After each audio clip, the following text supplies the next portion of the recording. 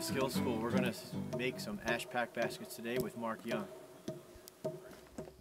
I'm not going to cut a tree down for one six foot log. Yeah. So, uh, you know, this tree is kind of small. If I was building maybe snowshoes, I got a good 10 foot nice straight piece, I might choose it. But for my purposes, it's a small tree, probably doesn't have great growth rings. So we'll move on. Try to drill in straight. Any diagonal will make the growth ring distorted. Right, that makes sense.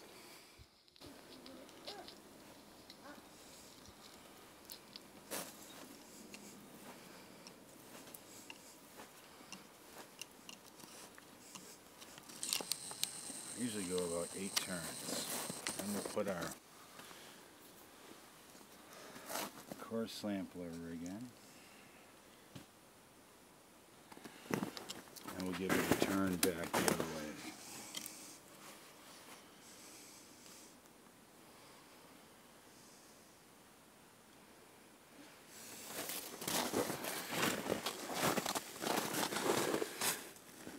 You can see where the heartwood and the, and the sapwood changes direction. And there's a pretty good look at the growth rings right there. This is actually a pretty decent tree. Why you say that?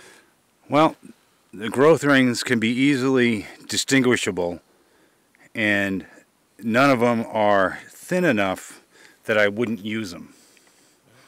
So every one of these growth rings is valuable because of the width of them. I mean, you can look at those growth rings and you can see every one of them. I can see a riser and a weaver in every one of them. Right down to the end.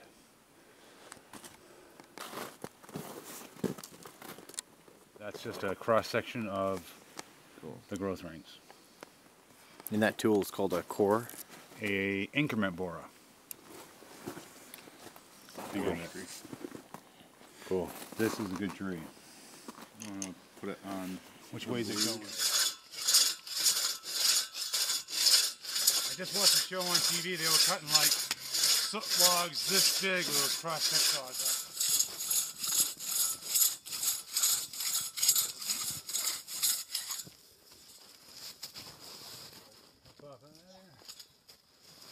All right, let's get on the back side.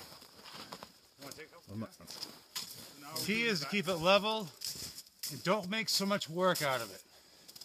All you're doing is pulling it back. You want to slide over this way so you're right in line? Yep. There you go. Find something that fits you.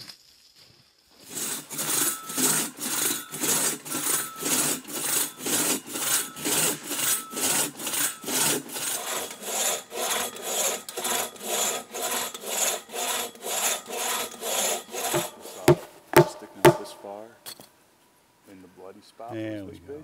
There's our first nice growth ring. Yeah. There's the top one that maybe not looking so good. Yeah, just chewed up and I've already reached down to two more growth rings. This one's coming home with us. It's a good one. Good one.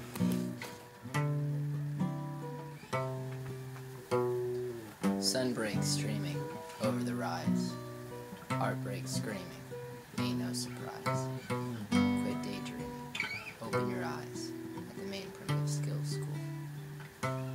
Practice skills that allow you to roam. Make the outdoors your second home. Fires off the landscape without a knife. It's more than survival. It's a way of life. Bird language tracking. Medicinal plants. Hunting the old way. A sacred dance. Use your awareness and make your own the skills. Now I should be able to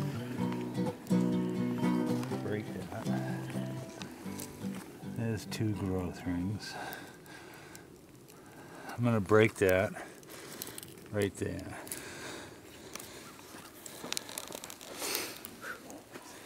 And that's about the diameter you're looking for for your basket splint. There's two. There's two beautiful weavers right there. Before I get down into the biggest stuff.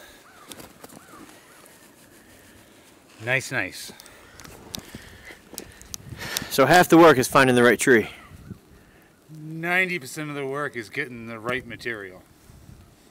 I mean, I've lugged too many logs out of the woods I couldn't use. And then you're dealing with material that you're making a basket that you know could be better. Just from material selection. Inadvertently, while I'm pounding, I'm loosening it up. More than one growth ring. Depending on how chipper you feel. Sometimes it's more than two. Do you gotta peel the bark before you peel the splints? You know, it. You do.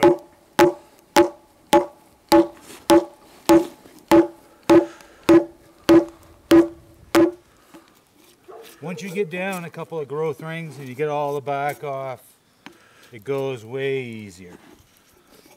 Way easier. Yeah, if the bark peeled easy, we'd we'd slip that off first. But where it's tight, you're just gonna pound it loose.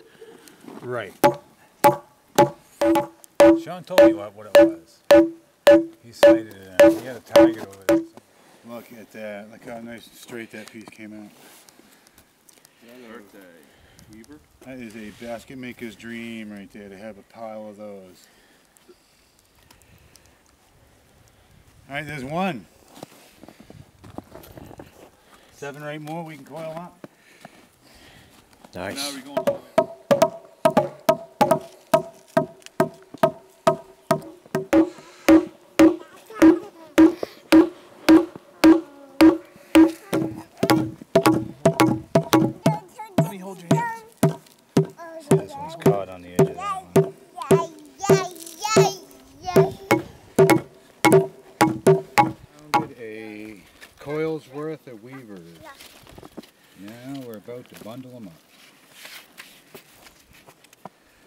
See when they're just pounded, nice and wet, how nice and small we can get them. They'll fit in any ordinary tub just fine.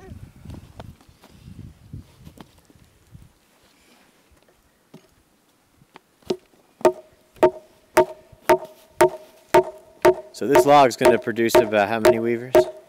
This log will produce probably 20 of these, 30 of these coils.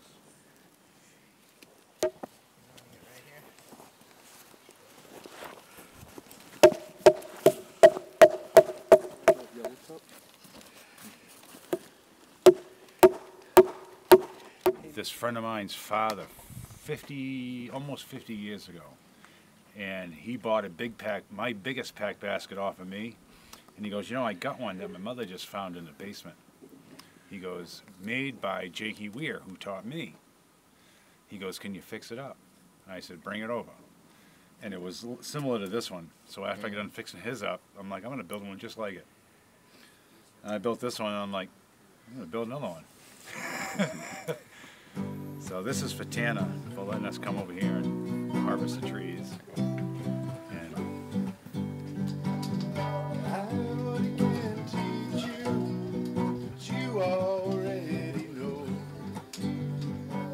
I'll do